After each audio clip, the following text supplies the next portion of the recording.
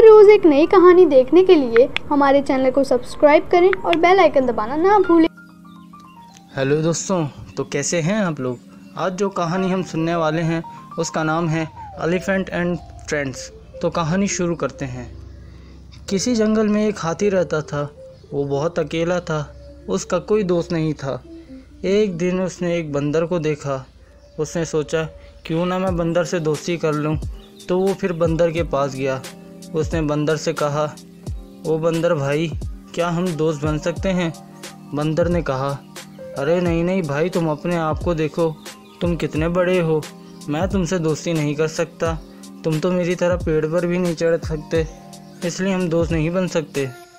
हाथी वहाँ से चला गया। उसके बाद हाथी एक खरगोश के पास गया।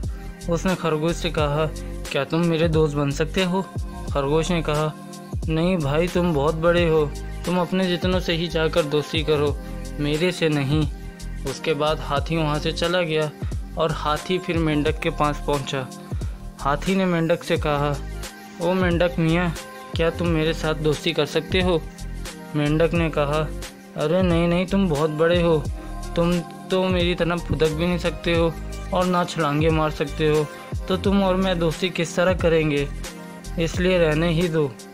फिर हाथी वहाँ से मायूस होकर एक लोमड़ी के पास पहुँचा। उसने लोमड़ी से कहा, ओ लोमड़ी बहन, क्या हम दोस्त बन सकते हैं? लोमड़ी ने जवाब दिया, अरे नहीं नहीं, तुम अपना साइज़ तो देखो। अगर कभी मैं तुम्हारे पैर के नीचे आ गई तो मेरी तो चटनी ही बन जाएगी। हाथी वहाँ से फिर मायूस होकर वहाँ से चला गया।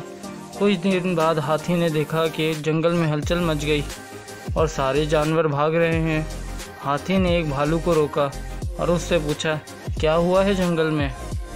भालू ने जवाब दिया, हम पर एक चीते ने हमला कर दिया है, जिससे हम सब डर कर भाग रहे हैं। वहाँ चीता तेज़ी से भागता हुआ आ रहा था।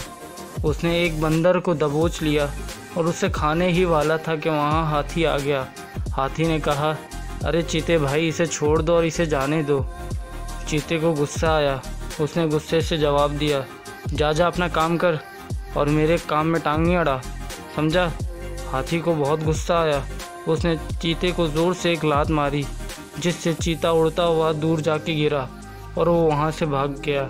हाथी ने जाकर सबको ये खुशखबरी दी। सबने उसकी ये बात सुनकर बहुत खुश हो गए और सबने कहा, आज से तुम हमारे सबसे अच्छे दोस्त हो। हाथी भी खुश हो गया और फिर सब आपस में अच्छी तरह ज़िंदगी गुजारने लगे। तो दोस्तों आपको लोगों को आज की कहानी कैसे लगी? अगर थोड़ी सी भी अच्छी लगी है तो वीडियो को लाइक करें और चैनल को सब्सक्राइब करें। Thank you bye bye